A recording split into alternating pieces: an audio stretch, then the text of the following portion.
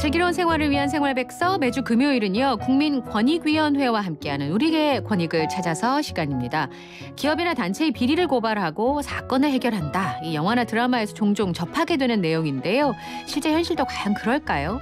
우리 법률에서 공익신고에 대해서 도대체 어떻게 규정하고 처리하고 있는지를 좀 살펴보겠습니다.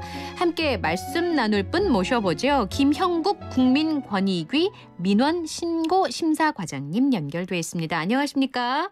네, 안녕하세요. 네, 공익신고란 단어가 익숙하기도 하면서 잘 모르는 단어이기도 한데요. 공익신고 네. 하면 딱 떠오르는 분이 생겼어요. 최근에 미국의 비영리 단체에서 올해의 공익 제보자상 받으셨던 김광호 씨가 생각이 나는데 권익위에서 이분께 훈장을 수여했다는데 맞습니까? 아, 예, 그렇습니다.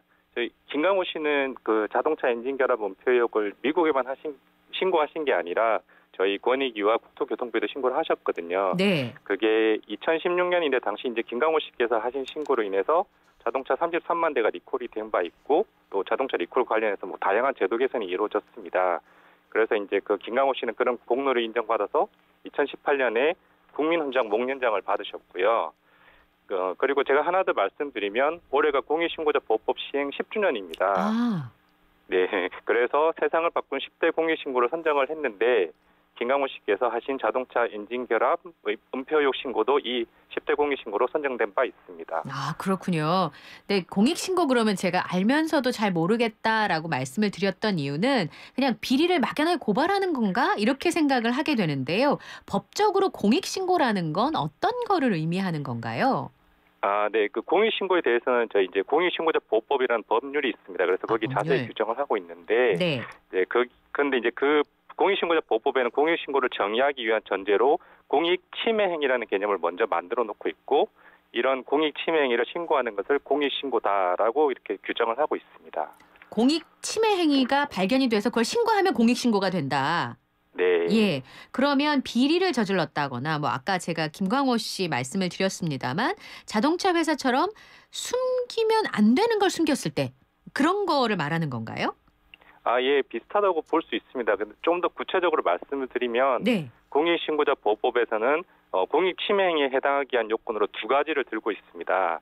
그래서 그 첫 번째가 국민의 건강과 안전, 환경, 소비자의 이익, 공정한 경쟁 및 그에 준하는 공공의 이익을 침해하는 행위여야 하고요. 그 다음으로 그런 행위들이 공익신고자 보호법에서 열거하고 있는 471개 법률의 벌칙에 해당하거나 행정 처분의 대상이 되어야 한다. 뭐 이렇게 규정을 하고 있습니다. 아, 그렇군요. 그 대상이 되는 법률이 지금 471개다. 예, 이렇게 네. 말씀하셨는데 많네요, 생각보다. 구체적으로 어떤 그렇습니다. 것들이 있습니까?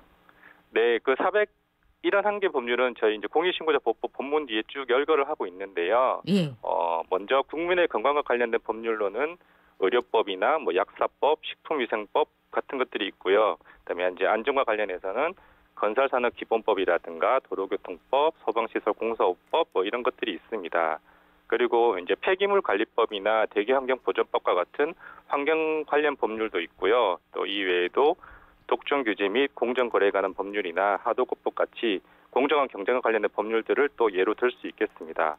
아, 그리고 이제 감염법 예방법도 401개 법률에 포함되기 때문에 뭐 이제 코로나19와 관련해서 방역 지침을 위반하는 경우도 공익신고 대상이 될 수 있겠고요. 아, 그리고 최근에 이제 근로기준법도 추가된 바 있습니다. 어, 그러니까 그 개인적으로 뭐가 기분 나쁘다 이건 아니다 이렇게 해서 신고하는 게 아니라 지금 말씀하시는 거를 들어보니까 아 이런 분야 이런 분야는 해당하겠다라는 게 저절로 떠오르거든요. 네, 이제 네, 그런 그렇습니다. 것에 우리 모두의 문제에 해당하는 것에 침해 행위가 발생했을 때 신고를 하면 공익 신고가 된다라는 말씀인데 구체적으로 어, 어떤 신고들이 많이 들어오게 되나요? 어, 예, 저희가 이제 상담한 내용을 기준으로 좀 말씀드리면 올해 이제 상반기에 저희 권익위원회에서 공익신고 관련해서 1,336건의 상담을 했습니다. 근데 이제 그 중에 어, 20, 22.6%인 296건이 이제 국민의 건강과 관련된 내용으로 이제 큰 비중을 차지를 했거든요. 그래서 이제 특히 많이 문의하시는 것 중에 하나가 무자격자의 의료 행위인데요. 예를 들어서 뭐 의사만 하도록 되어 있는 수술을 간호사나 의료기 판매업체 직원이 대신한다든가 아이고 아니면 예 그리고 아니면 뭐 약국에서 약품 조제를 약사 자격이 없는 아르바이트생이 대신하는 경우 뭐 그런 것들이 있습니다.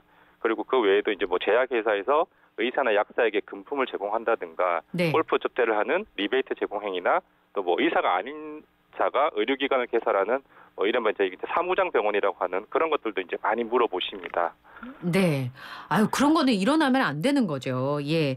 아마 네. 오늘 이 방송을 들으시면서 여러 가지 생각을 좀 하셨을 것 같은데요. 공익신고가 국민권익위에서 운영하는 청년 포털 부패 공익신고 사이트를 이용하시면 어, 신고를 하실 수 있고 또 국번 없이 1398번으로 전화 주시면 지금 말씀하신 것처럼 상담을 받으실 수 있다고 하니까요. 예, 청취자 여러분들께서도 이런 부분들에 의문이 있으시다면 한번 상담을 받아보시기 바랍니다.